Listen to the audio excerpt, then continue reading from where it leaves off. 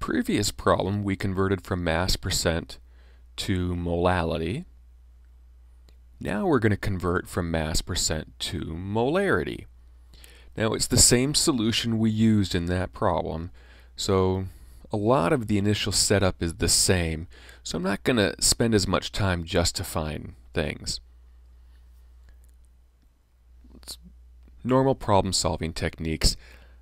Write down what you have, what you need, etc. Okay, so we're given mass percent. What's the definition of mass percent? And then, what information do we get once we're given the mass percent? Well, we have to assume a solution mass. So for the same reasons as before, I'll pick 100.0 grams. And since we're told the mass percent of HCl, and the HCl is the solute, we have that mass. And since it's a hydrochloric acid solution, it's HCl dissolved in water, so the water is the solvent. Well, we subtract those two masses because that's what's left over, and that's the mass of the solvent. Definition of molarity. We need that. What's the definition?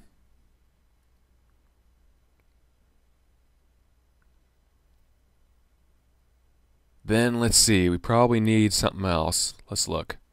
Oh yeah, like before, we have the mass of the solute. We need the moles of the solute. Therefore, we need the molar mass of HCl.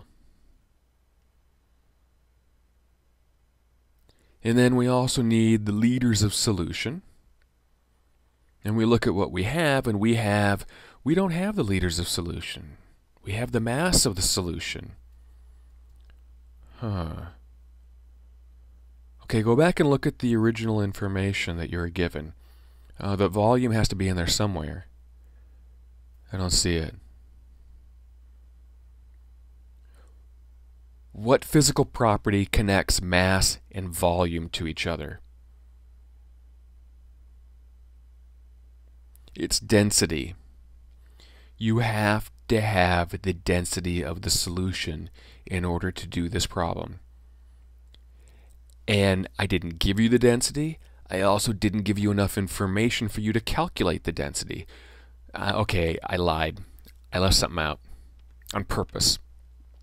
I wanted to get to this point, and I wanted you to be confused, and I wanted you to be able to see that there was something missing. So, in order to do this, you have to have the density of the solution, or it's impossible to do it. I buy concentrated hydrochloric acid a number of times a year, and on the label it tells me mass percent and it tells me the density. And I use those th two things together to figure out the molarity, and then I do dilutions on it. Okay, so we want the volume. We're going to use the mass of the solution, not the solute, not the solvent, the solution. And we're going to divide by the density. Do our unit check. Good, we have milliliters. Divide it out. We get the volume, 84.75 milliliters. And sure, it's not in liters, but we'll fix that later. I mean, you could do it now if you wanted to. I'm going to work it in later. Now I just shifted things up because I didn't have enough room. And I put down the solution density and I put down the volume of the solution.